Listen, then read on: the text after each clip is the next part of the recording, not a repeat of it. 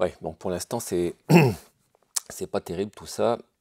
Euh, ce que j'essaye de, faire là, j'ai récupéré un, un, plugin qui existait, qui était un contrôleur MIDI, qui s'appelle l'Animafi, que j'essaye d'associer à un Polyspat Sampler, qui est fait pour euh, être, être, joué euh, avec un, contrôleur euh, compatible MPE, multidimensional polyphonique expression, donc comme l'instrument.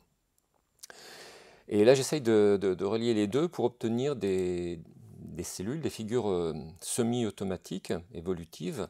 En fait, j'ai déjà réalisé un, instrument global qui fonctionne à la manière de l'animafi, c'est-à-dire sous la forme de contrôleurs, de 8, contrôleurs euh, XYZ, dont j'anime les, positions en suivant plus ou moins des modèles euh, physiques. Et cet anima sampler a jamais, jamais bien fonctionné. Euh, enfin bon, en tout cas, j'ai jamais rien pu en tirer vraiment d'intéressant. Et je me suis dit que là, grâce à ce mode MPE supporté par le Polyspat Sampler, je pouvais peut-être euh, faire quelque chose de plus efficace. Et en tout cas, ça, actuellement, ça, ça fonctionne. Reste après la, plus grosse difficulté à trouver déjà les, fichiers audio, les sons qui vont s'y prêter, se prêter à ce, travail d'extraction de, de, petites, de, petites, cellules, et surtout dans la conjonction entre les deux, les, les zones euh, dans les paramètres et les zones spatiales euh, dans lesquelles euh, il se produit quelque chose de, particulier. Et là, tout ce que j'ai essayé jusqu'à présent, c'est remarquable par sa, banalité, même si sur le plan de l'animation spatiale, ça, marche plutôt bien. Mais le résultat sonore à écouter comme ça est, quand même peu, peu réjouissant. Donc là, il y a un gros travail à, faire là-dessus. Maintenant que le système a l'air de, fonctionner et d'être stable, je le présente très rapidement.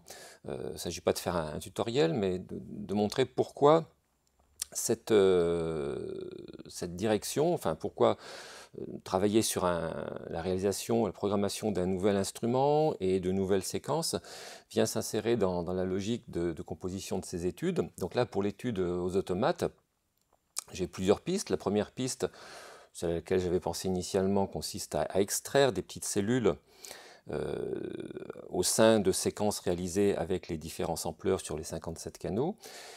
Mais il y a une certaine rigidité à ça, ce qui donne des, formules surprenantes, mais qui sont difficiles à faire évoluer après au-delà du, décalage de, boucle, qui est une, méthode efficace, mais j'aimerais trouver quelque chose d'un petit peu plus organique. Et avec, voilà, j'ai repensé à, mon Anima Sampler et j'ai donc modifié le, contrôleur qui fonctionne de la manière suivante. Hein. C'est simple dans son, dans son principe. Euh, rien à voir avec des, logiciels très sophistiqués comme, comme Yanix.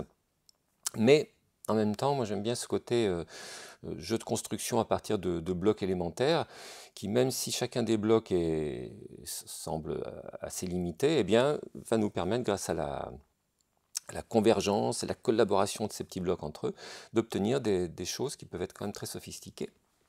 Alors, manière. Donc là, j'ai plusieurs modulateurs. si je les mets dans, leur position là simple. Donc, euh, trois modulateurs X, euh, XYZ qui déplacent 8, euh, sources dans un espace tridimensionnel et qui me permet d'obtenir 8 fois 3 coordonnées XY. Et c'est ça qui est directement relié à la fois à la partie contrôle de la masse spatiale de mon polyspat sampler, mais aussi aux différents paramètres euh, de contrôle du, son, comme le point de départ de l'échantillon, la hauteur bien entendu, euh, les enveloppes, euh, filtres, tout, ce que je veux. Ce qui permet, et c'est ça qui m'intéressait dans le premier Anima Sampler, d'associer des profils de masse à des profils de masse spectrale, de, dynamique, etc. Donc euh, la position en X, en Y, qui peuvent être après plus ou moins synchronisés ou désynchronisés, avec des formes d'ondes différentes, et c'est ça, c'est mon, vieux parcours de, synthèse analogique modulaire, où avec quelques LFO, eh bien, on arrive à une infinité de possibilités. Donc là, en choisissant des, formes d'ondes variées pour chacun des, axes, je peux contrôler mon, petit, mon, objet.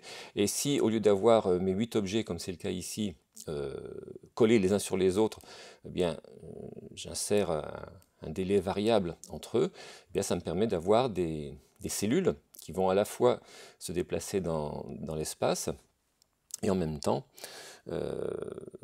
bien entendu, contrôler les, différents aspects du son. Donc j'ai quand même un, contrôleur euh, gestuel euh, principal que je peux utiliser, pourquoi pas, à la manière d'un spatzer ou quelque chose comme ça. Donc là, euh, je contrôle la, position de mes huit sources simultanément.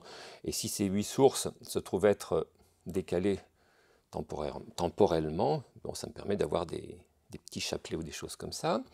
Euh, j'ai euh, un contrôle du, rayon horizontal qui peut être euh, statique ou, pulsé.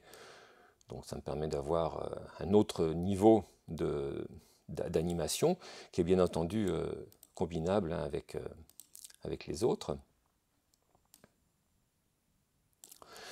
Qu'est-ce que j'ai d'autre J'ai un pseudo-rebond. Je dis pseudo parce qu'il n'essaye pas forcément de reproduire un, vrai rebond, mais en tout cas, voilà, je peux obtenir soit des, rebonds individuels ou un vrai rebond, c'est-à-dire en fait le lancer, puis ensuite euh, voir comment ça, ça, se, rebondit, alors au sol ou pas. Mais...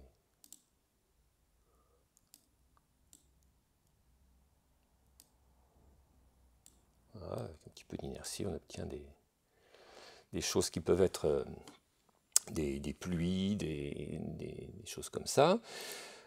Euh, et puis il y a un, générateur euh, de position aléatoire qui peut être déclenché manuellement. euh, peut être maintenu bien entendu, et euh, autrement peut être utilisé comme une, euh, comme une animation également, euh, avec un,